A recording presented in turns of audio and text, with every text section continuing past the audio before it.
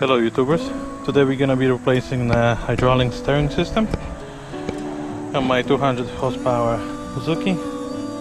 We just got the brand new engine on it. Also what we're gonna do, we're gonna dress it up, crappy work, where the dealer did it.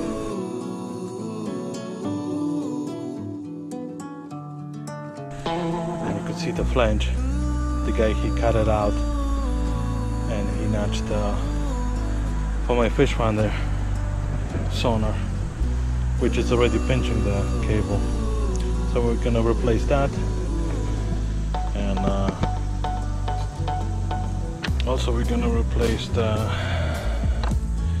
the strain relief. We're gonna put a brand new ones. The other ones were down from the sunlight. Pump and new hoses make sure you get uh, lots of rags lots of rags. Oil is gonna be dripping everywhere. Also want to do a big shout out to my brother. Best fishing buddy.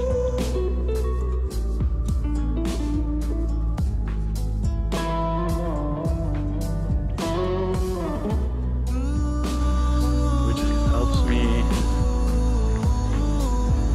get this engine 200 horsepower Suzuki thing.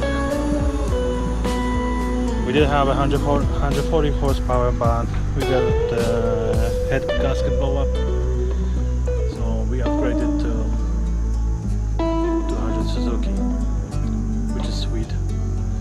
And actually, that 200 has got a four cylinder, and what we got, we got extra trolling option, trolling mode for the dots. It just to reduce the RPMs while we're trolling with the push of the button.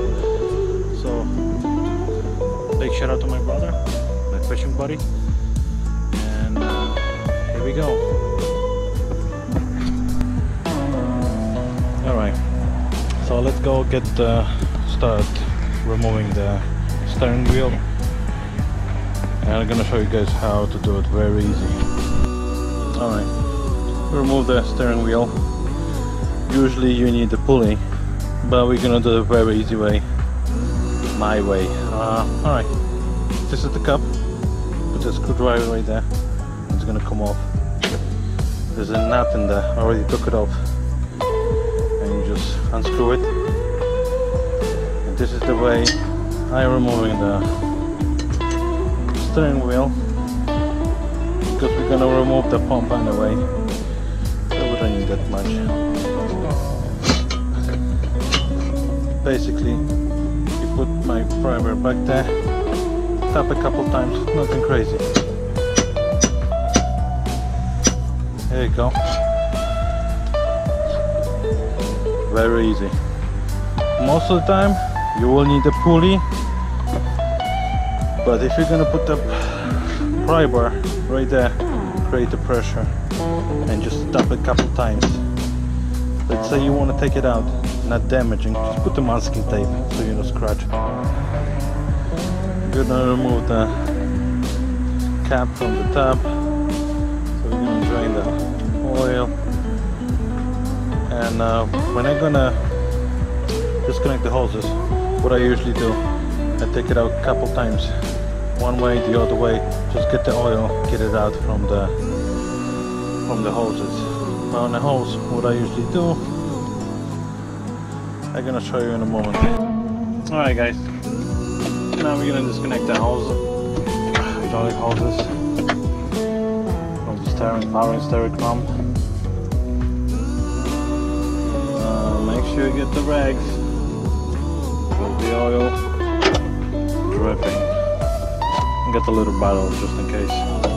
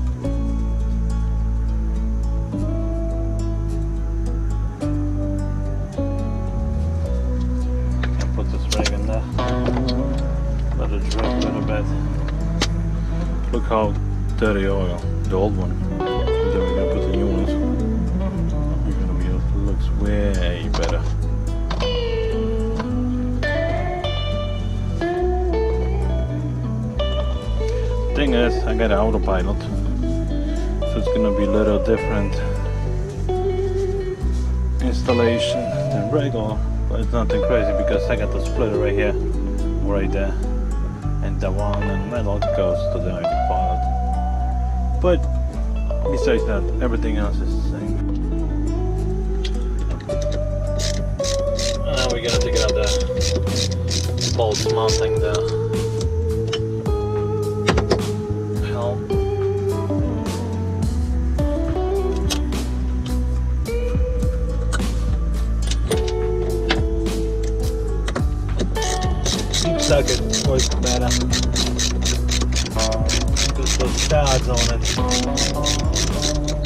it.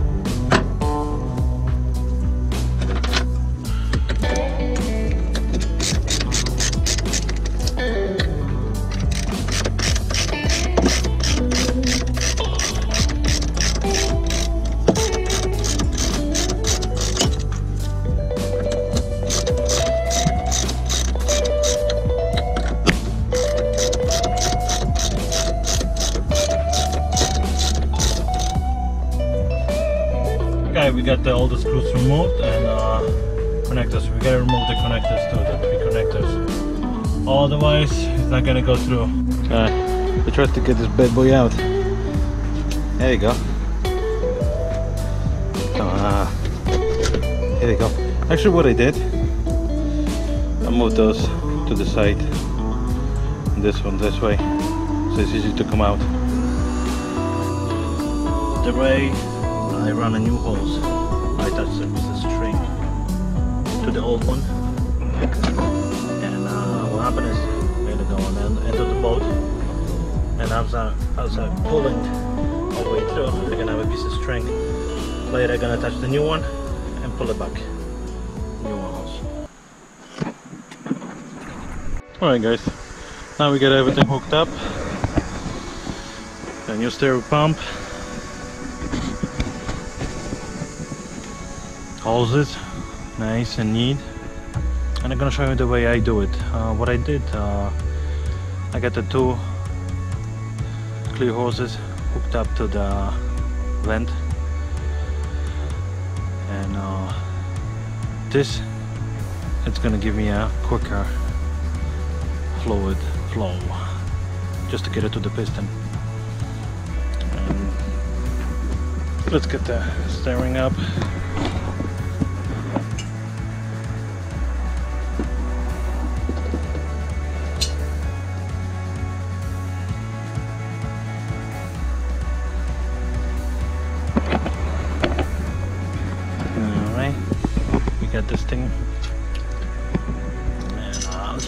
washer.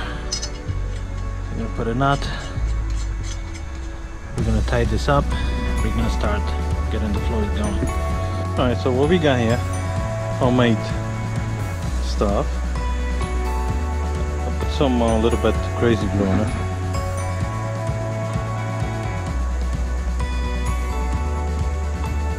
So hold up pretty good though, otherwise it will slide it off. No rocket science. This one's gonna go right there, on top of that. And it's gonna work like a charm. Alright, let's put this thing up.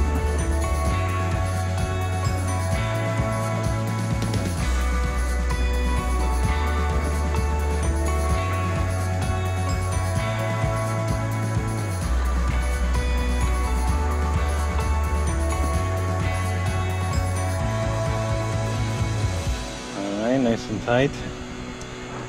Gotta make sure there's no leaking whatsoever. Yeah, looks like there's no leaking. And it's taking on oil, which is good.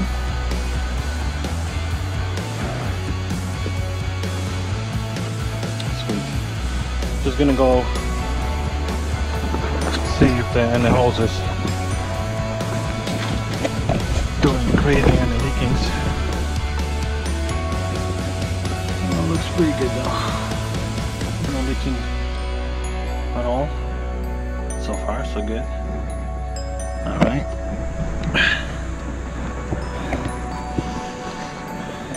Let's go to the back of the engine. Alright, so what we got here? We're gonna loosen up one side, the vent hole.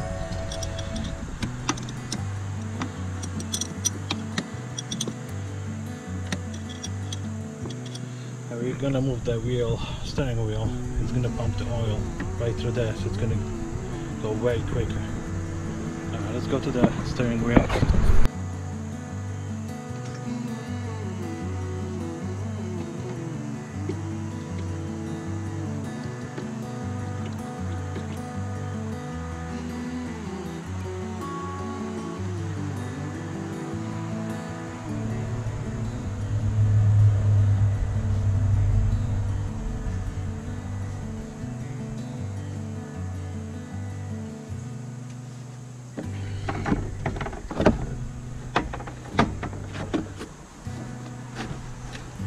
See the oil going right through the to my tank. And later what happen is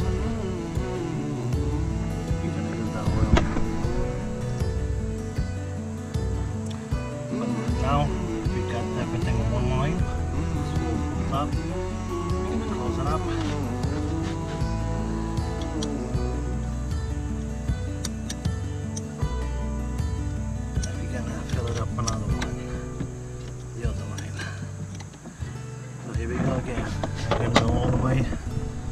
Steering wheel. Just keep turning when you see the oil coming through.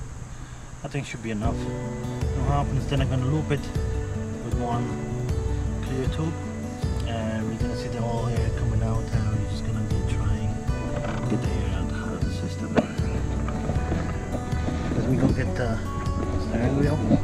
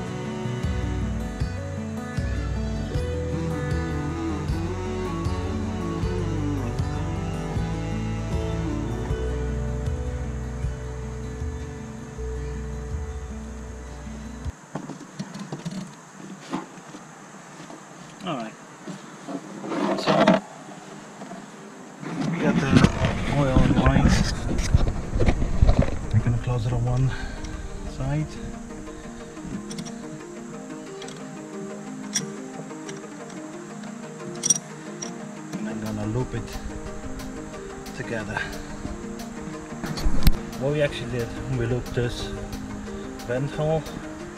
With the other one and uh, we're gonna go to the steering wheel. And we're gonna start turning the wheel left. Then I'm gonna be right. And we're gonna be adding more oil. And you're gonna see the how the bubbles going while passing by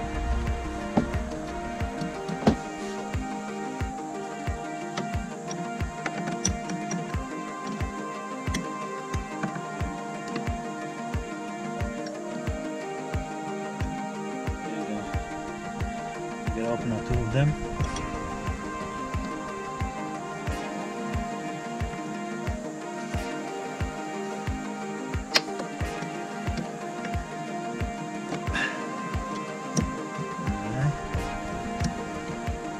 Now we're gonna see the oil flowing and pushing bubbles out.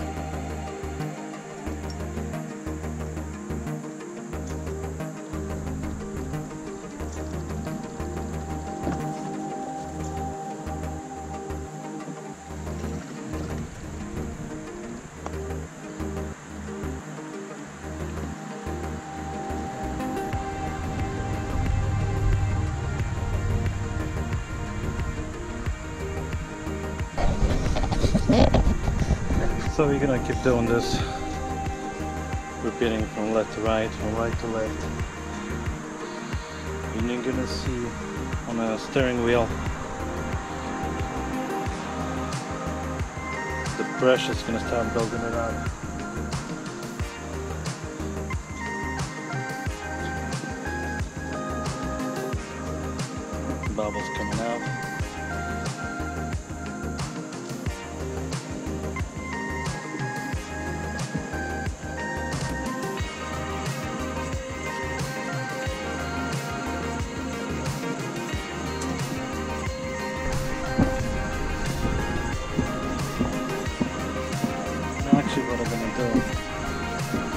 Tomorrow,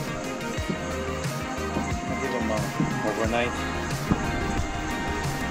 So the bumbles usually travel up, so they're gonna keep coming up, keep coming up. Eventually it's gonna get the air out of the line.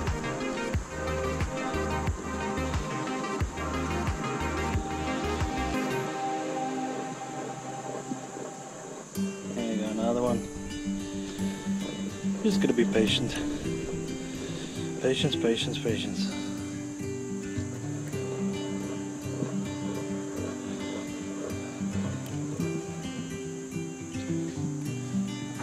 And also, so basically you wanna make sure if you're gonna keep turning the wheel, you're gonna keep releasing the air and eventually the air is gonna push it out through the the main hoses make sure when it's gonna be complete basically it's gonna look like this you have a solid house, no air. But what I do I take the like a brakes. I just leave it to one side take a like five minutes break. I gotta do something else and I make them do something else and uh, coming back then I turn the other way. So you you're gonna see the air coming through. And I'm just gonna be eventually released to the steering. Okay so basically it's pretty much simple. No rocket science anybody could do it. And uh, this is how it looks like when we change the flanges. Looks nice and neat. It's just a shame the dealer can do this. So the client will be happy. I like what he did see you on the next one.